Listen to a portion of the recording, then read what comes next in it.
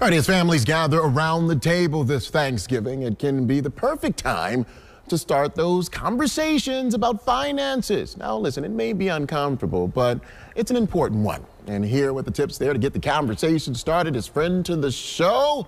You know him, uh, financial professional Tony Drake from Drake and Associates. Tony, good morning good morning, buddy. What's what, what's harder to talk about, finances or politics? Listen, I don't want to talk about both at the table. I have an appetite, you know what I'm saying? And you can, you know, between the two, they can cause quite the conversation. But listen, why is it important to discuss uh, financial issues as a family? I think there's a number of great opportunities as we all get together. Some of us are more fin- financially educated than others, so it's nice to spread that knowledge to other family members.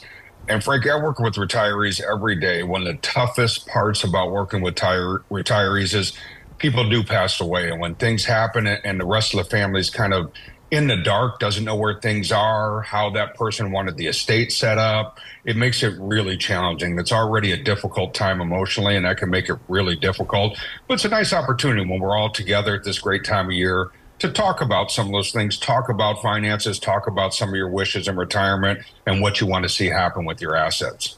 Would you say it's also a great time, maybe if you're having a small Thanksgiving to talk with family, kind of just moving into the new year? You kind of want to regroup, you want to look at some of the things that maybe you, we do a little bit differently, kind of moving in. Is this a good time also to talk with the family, maybe on a, a smaller size?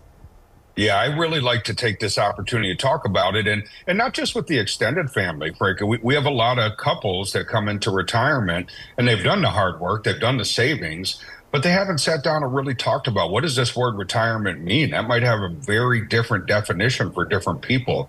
Making sure we're on the same page there can really set us up for a great retirement, one where we can kind of give and take a little bit, find that balance. So both parts of that couple are are happy. But when you have that family together, just taking that opportunity to discuss some of these things, I, I know it can be uncomfortable. Some families are a little bit more open about the finances than others, but it's a great way to kind of connect and really discuss some of your dreams, wishes, and desires you know, I'd rather it be a, a, small, uncomfortable conversation than to be a big problem later. You know, what topics should we be covering in these financial conversations? Is it is it uh, how much we're spending out? Is it how much we're saving? I, I know we were looking at retirement, but what are some of those other conversations and what do those look like? Always great to talk about the budget. Not always a fun conversation, right? But most people, when we sit down and really take a hard look at that budget, really track the expenses for a couple months, almost everybody finds an area that they're spending a little bit more than they thought. And that could be a great area to maybe cut back a little bit, put a little bit more towards savings. Again, if we can talk a little bit about our dreams for the future, not just retirement, but maybe it's a big trip, maybe it's moving to a different home.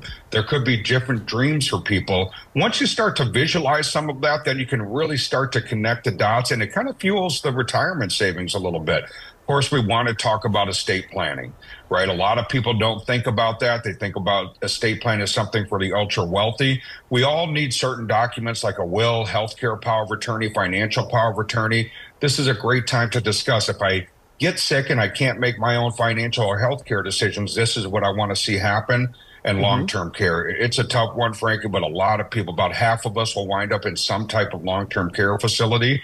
A lot of great ways to plan for that. If we don't plan, it can take a massive hit to that remaining spouse or partner that, that's in that relationship. Long term care can cost north of $100,000 a year. So, mm. really important to get on the same page with those topics. Tony, quickly, I, I want to get this question in. I know we have a very small amount of time. What advice can you give uh, folks here to, to, just to get this conversation started? I don't know if you would want to have this at the, at the, at the dinner table.